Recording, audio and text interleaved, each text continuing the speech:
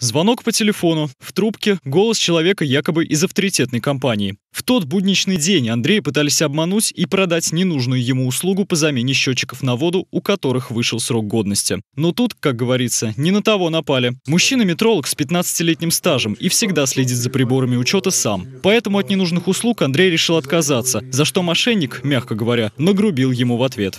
Я перезвонил э, директору по персоналу РКС, объяснил ситуацию, э, попросил, чтобы сотрудник организации передо мной принес мне извинения. Вот. РКС оперативно разобралась в течение двух часов. Мне перезвонили и объяснили, что номер, с которого мне звонили, я ему сообщил, потому что вижу, откуда мне звонят. То есть не их, это звонили не их сотрудники, то есть это звонили мошенники.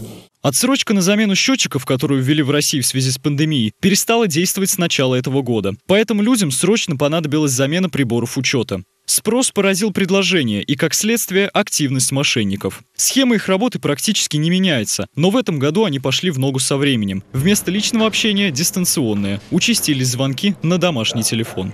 Еще одна проблема – стоимость их услуг. Хотя первоначальные цифры не намного выше расценок официальных поставщиков, после установки прибора стоимость вырастет в два, а то и в три раза.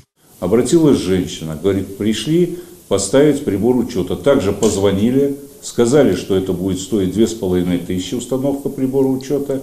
А, установили прибор учета. А когда выставили счет, то есть к оплате, оказалось 10 290 рублей за прибор учета.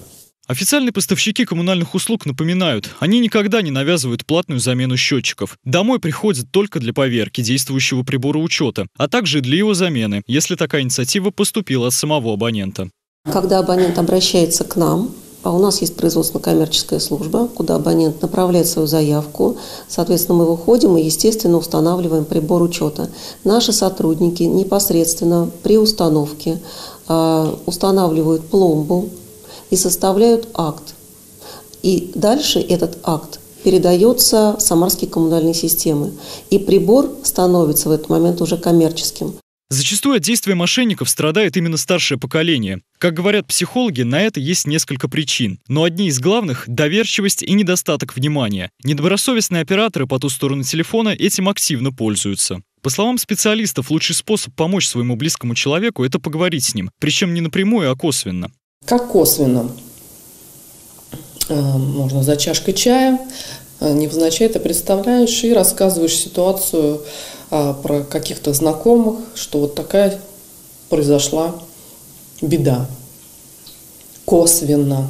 И, естественно, накладывается а, параллельность. И если а, старшее поколение еще в здравии, то сделать соответствующие выводы. Чаще всего мошенники – хорошие продажники. Кроме агрессивного маркетинга, они вполне успешно пользуются всевозможными психологическими приемами.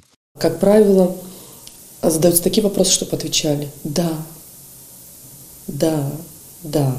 То есть специально так подстроена формулировка, что по-другому не ответишь. А, есть, а, помимо этого, какая-то, если при встрече да, идет какая-то определенная жестикуляция, тем самым на определенных словах, такое некое якорение. А, может быть тактильный контакт, могут как-то дотронуться. Да? В основном счетчики на воду действуют 6 лет. Проверить, как долго ими еще можно пользоваться, можно по квитанции за воду. Там указывается срок поверки. Если после истечения срока годности прибор учета все еще исправен, нужно вызвать представителя своего поставщика коммунальных услуг для повторной поверки. После нее прибором можно пользоваться вновь. Такая нехитрая операция поможет решить проблемы со счетчиками и не оставит шанса мошенникам. Михаил Ермоленко, Григорий Плешаков. События.